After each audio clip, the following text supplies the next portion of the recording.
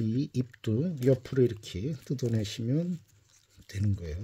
이렇게 위로 뜯어내는 것보다 뿌리 손상이 있으니까 옆으로 이렇게 파인애플은 어떤 식으로 증식을 시킬까요? 어, 알고 계신 분도 많으실 거고 모르시는 분도 계실 거고 그래서 파인애플 먹고요. 그 위에 어, 요걸 가지고서 증식을 시킵니다.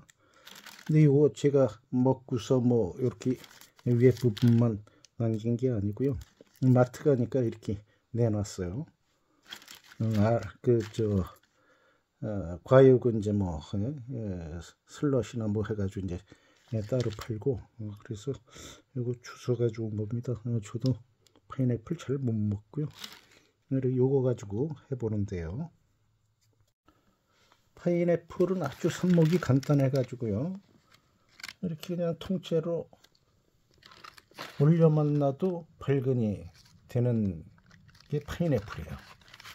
아, 근데 어, 지금 시기 아주 잘 되니까 어, 제가 좀 부정근 벌써 뿌리가 나와 있는 것들이 있을 겁니다. 보여드리겠어요. 마른 잎들을 조금씩 띄어냅니다.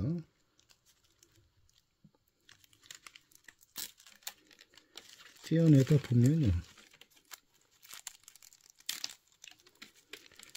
잎과 잎 사이에서 잎과 잎 사이에서 뿌리가 보여요. 음, 요거 지금 약간 보이죠?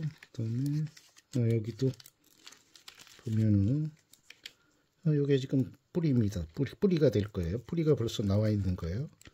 그러니까 적당하게 올려만 놓으면은 여기서 요런 게 다 뿌리 지금 나오는 거거든요. 그래서 아주 요거처럼 간단한 게 없습니다. 더 보실까요? 여기도 보면 이렇게 벌써 뿌리가 나와 있어요. 그러니까 이거 그냥 올려만 놓으면 올려만 놓으면 그냥 밝은 되는 겁니다. 그래서 이 잎도 옆으로 이렇게 뜯어내시면 되는 거예요. 이렇게 위로 뜯어내는 것보다 뿌리 손상이 있으니까 옆으로 이렇게 벌써 많이 나왔죠 여기. 계속 뿌리가 나옵니다 자, 이 정도로 이거 많이 나왔네요 그죠 그래서 이 잎을 위로 잡아당기는 게 아니고 옆으로 힘을 줘서 분리를 해내고 식재를 하면 됩니다. 네, 식재를 해가지고요. 식재를 해서 꼭 파인애플을 먹겠다. 그게 아니고 이 식재를 해서 관상용으로 아주 시원하게 예, 보는 용도로 하고 있습니다. 음, 이렇게 물 가운데 놓고요. 네. 이게 다 끝난 겁니다. 그걸 좀 채워주고요. 약간만 채워줘도 되고, 안 채워줘도 되고요.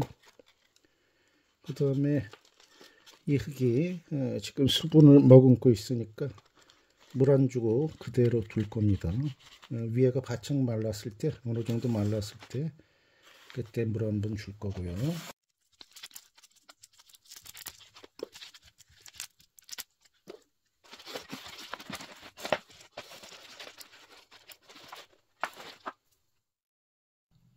제 방식의 간단 작업 끝났습니다.